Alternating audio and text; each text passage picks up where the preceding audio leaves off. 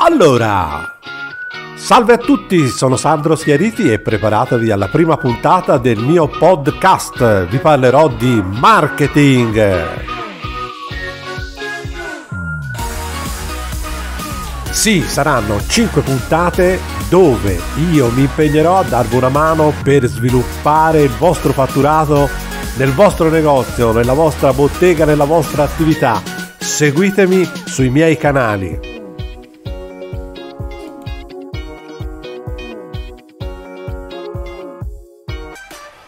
Buonasera a tutti, parliamo di marketing e andiamo a tradurre proprio il significato della parola marketing.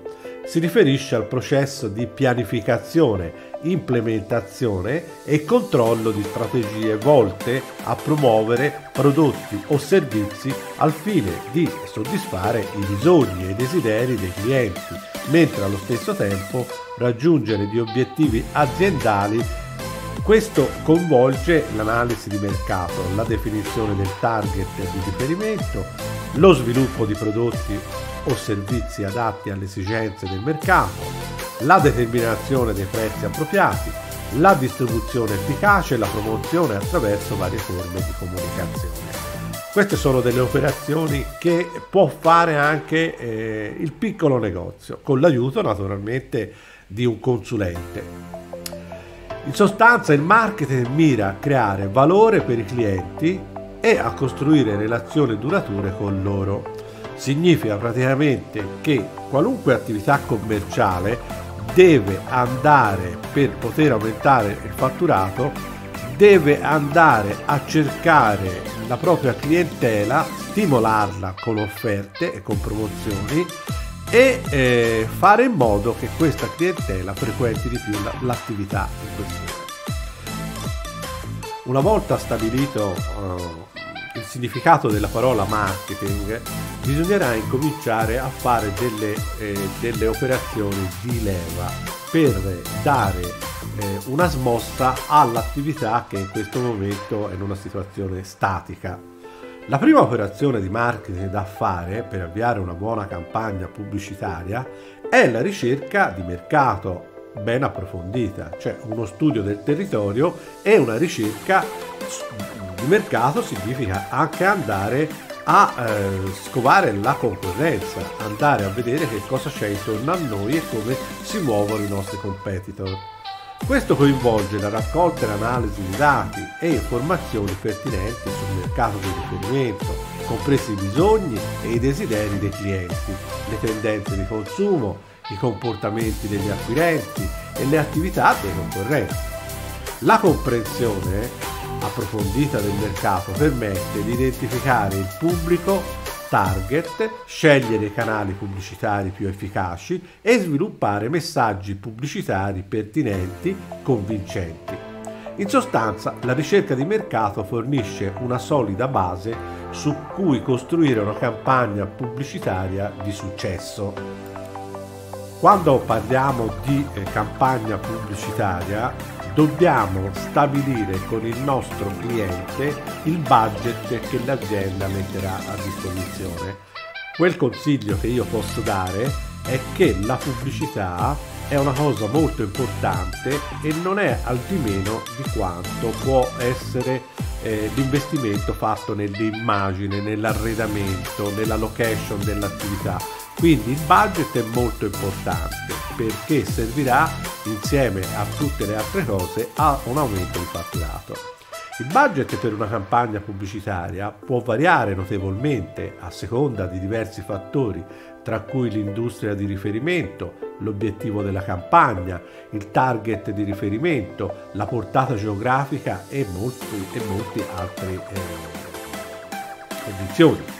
Non c'è un importo fisso che sia universalmente applicabile a tutte le situazioni, quindi è una cosa da prendere in esame e decidere fra il consulente e colui che si occupa della direzione pubblicitaria o direttamente con il titolare dell'impresa. Tuttavia è importante che l'azienda dedichi risorse adeguate alla campagna pubblicitaria in modo da poter raggiungere i propri obiettivi di marketing molto velocemente. In generale molte piccole e medie imprese potrebbero iniziare con un budget pubblicitario più limitato e poi aumentarlo gradualmente in base ai risultati e al ritorno del ritorno sull'investimento fatto. Una consulenza da parte di esperti del settore potrebbe aiutare a determinare un budget appropriato per una specifica campagna pubblicitaria. Quindi il mio consiglio eh, è quello anche di mettersi in contatto personalmente anche con me che sono un consulente pubblicitario per darvi una mano anche nello stabilire il budget da spendere. Bene, una volta stabilito il budget, la domanda classica che ci viene rivolta sempre a noi consulenti è quella ma quanto tempo ci vuole per vedere i risultati? Il tempo necessario per vedere i primi risultati di una campagna pubblicitaria dipende da vari fattori, tra cui il tipo di campagna, il canale pubblicitario utilizzato, il pubblico di riferimento e la durata delle, della campagna stessa. In alcuni casi i risultati possono essere immediati, soprattutto se si tratta di annunci online o promozione a breve termine. Tuttavia, per campagne più complesse e a lungo termine, potrebbe essere necessario un po' più di tempo per valutare l'impatto e misurare i risultati. In generale è importante avere pazienza e monitorare costantemente le prestazioni della campagna pubblicitaria apportando eventuali ottimizzazioni in base ai dati raccolti. Ecco, mi raccomando che quando si decide di eh, fare delle operazioni di marketing e fare delle campagne pubblicitarie, di avere pazienza perché i risultati arriveranno. E questo è una cosa che dico a tutti coloro che magari non hanno mai fatto pubblicità e che decidano per la prima volta di fare pubblicità quando i fatturati sono in calo. Ecco, allora sono già nervosi perché vedono un calo di fatturato, non hanno mai fatto pubblicità e quindi pretendano che i risultati arrivano subito. Non è così, ci vuole pazienza come in tutti i lavori.